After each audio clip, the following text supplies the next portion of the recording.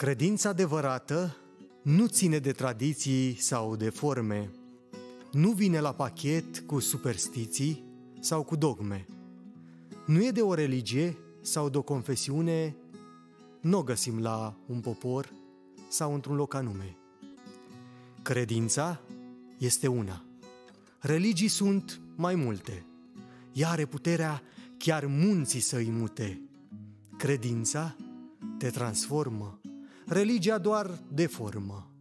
Una îți schimbă viața, cealaltă doar fața. Credința e încrederea în ceea ce nu vezi și asta că tu știi pe cine te bazezi.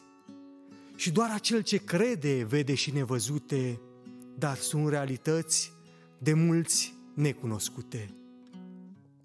Credința adevărată nu e o teorie, ci pentru cel ce crede e o experiență vie și nu este nevoie să fie explicată, căci este ca un pom cu roade încărcată.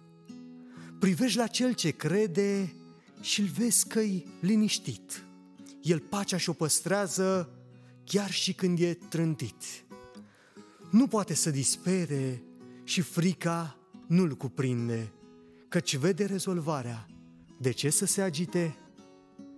Când ai ochii deschiși și privești prin credință, de în fața ta e o luptă, tu vezi o biruință.